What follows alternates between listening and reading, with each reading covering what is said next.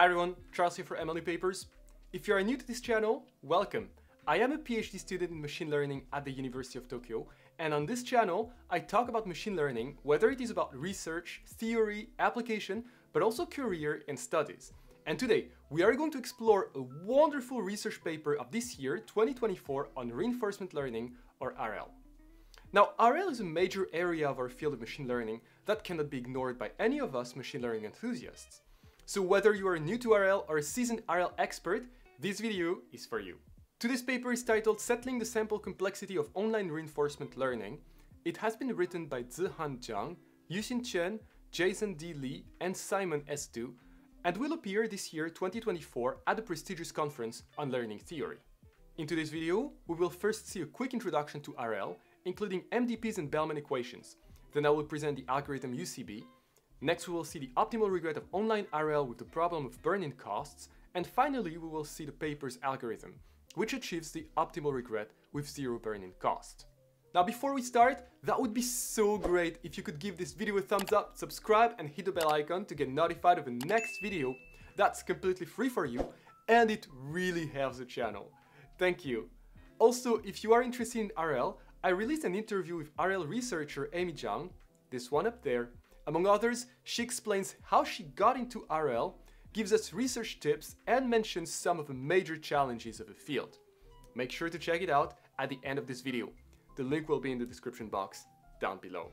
Finally, if you already are a seasoned RL expert and you already know about MDPs, Bellman equations, and the algorithm UCB, you can skip and go to that time code there on the screen. Let's jump in a short introduction to RL. RL is everywhere. If you Google AI applications, chances are there is some RL somewhere. Interested in a game algorithm which can beat the world champion at chess or Go? That's RL. Autonomous driving? There is also RL. Wondering how OpenAI pre-trained ChatGPT? No, don't say it. There's RL too. Now what is this mysterious RL?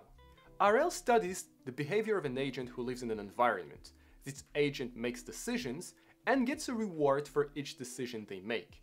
You can imagine that the agent is a video game character who performs a series of actions and gets rewarded.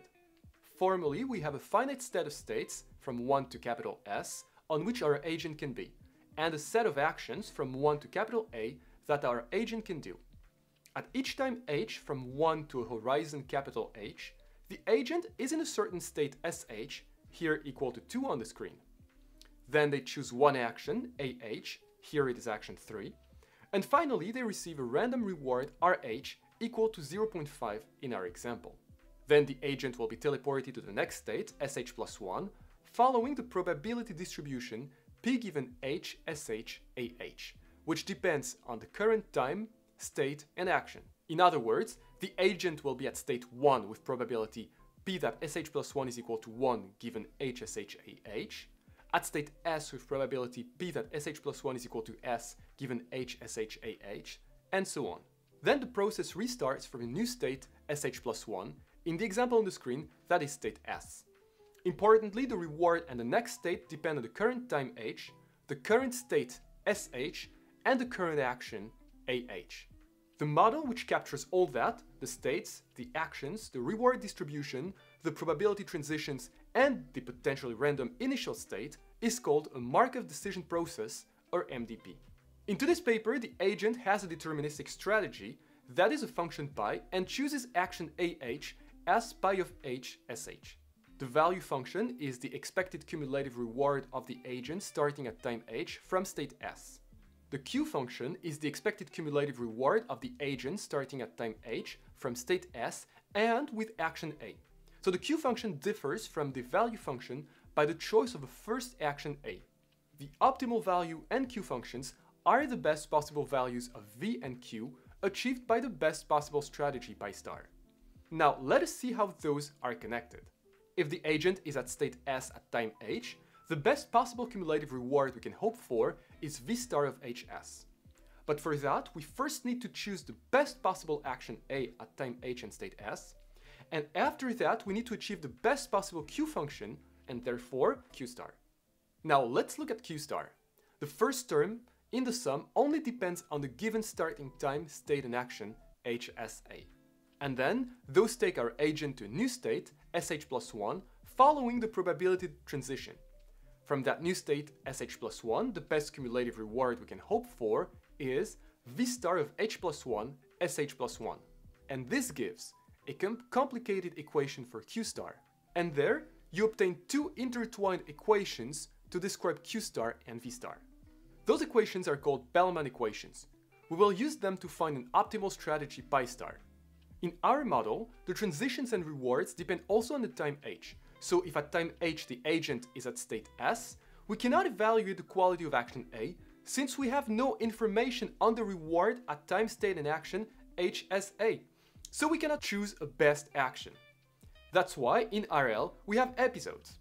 We are going to run the above procedure capital K times called episodes.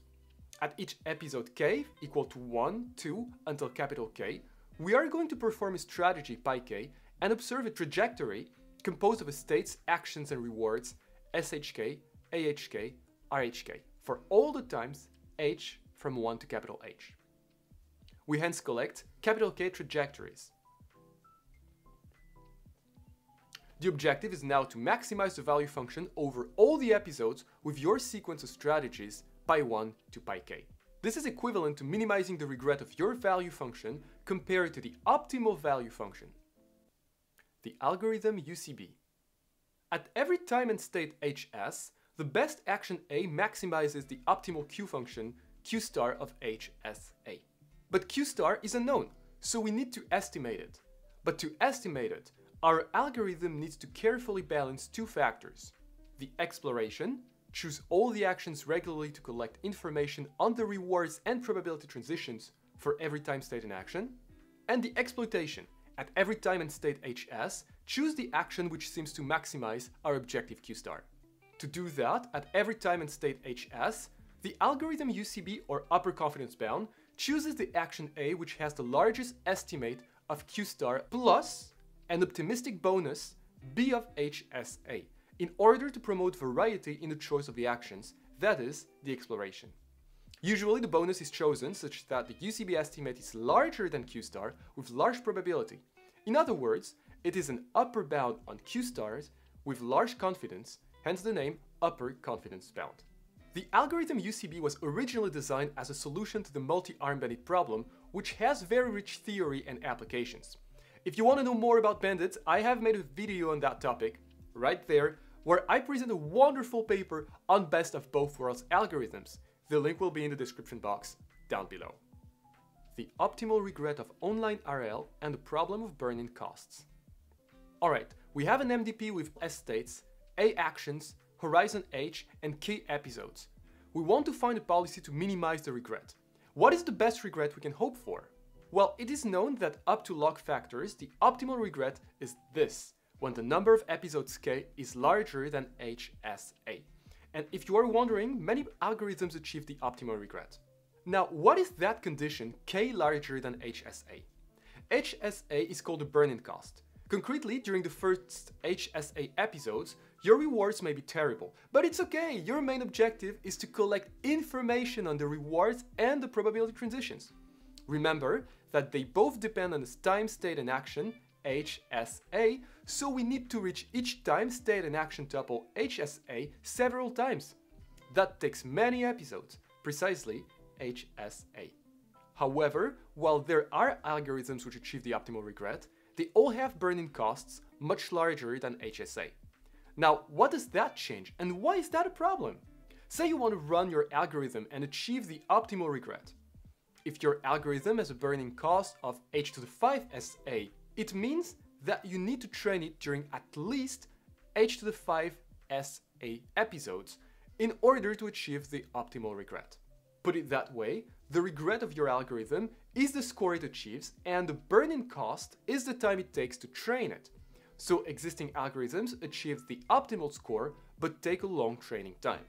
The main result of today's paper is that they derived an algorithm called monotonic value propagation, or MVP, which achieves the optimal regret while having the optimal burn-in cost, HSA.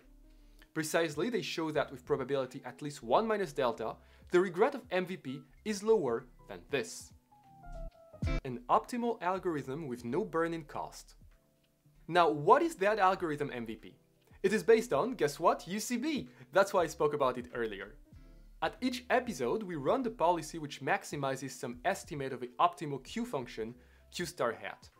The whole point is to compute that estimate, Q star hat.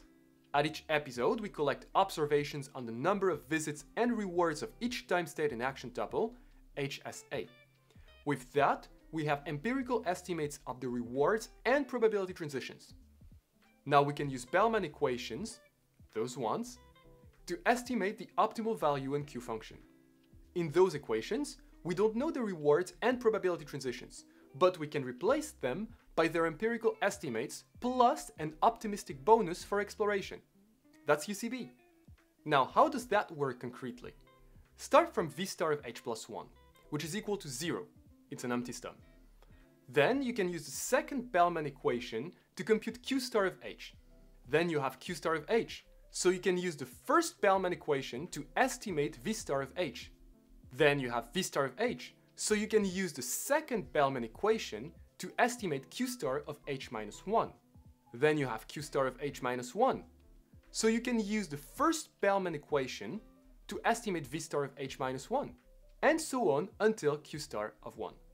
Now the algorithm introduced is a wee bit more subtle. What we do here is, we do not update the value in Q functions at every episode, but only when the number of visits n of HSA of one time state and action tuple HSA is a power of 2. And when we perform the update, the reward and transition estimates are only based on the samples which have not been used in previous estimates.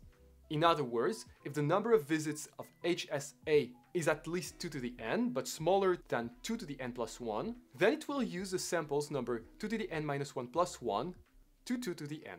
Basically, the reason why we do that is that in our story, everything is correlated by the number of visits of each time, state and action, HSA.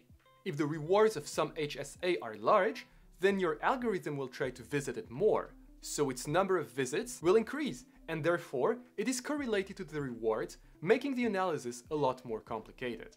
However, given a fixed number of visits of HSA, then the rewards and probability of visits are independent. Therefore, we can bound the regret term for each value of n of HSA, and then sum all the bounds. But remember that capital K is the large one here, and the red sum on k terms on the right is too large.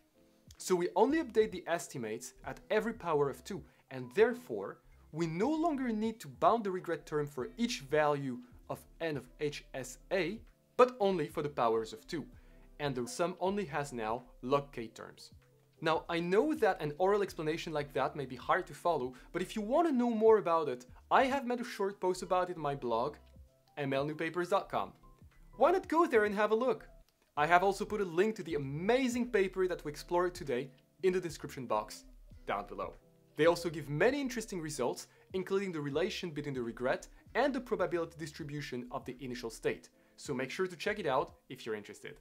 But alright, if you enjoy short videos on fantastic research papers like this one, there will be more coming up on this channel. I also post vlogs, researchers interviews, and share with you my tips if you're interested in a career in machine learning. So stay tuned. If you enjoyed this video, please give it a thumbs up, subscribe and hit the bell icon. I would really appreciate that. Thanks again so much for watching. I wish you a wonderful week and I'll see you in the next video. Cheers.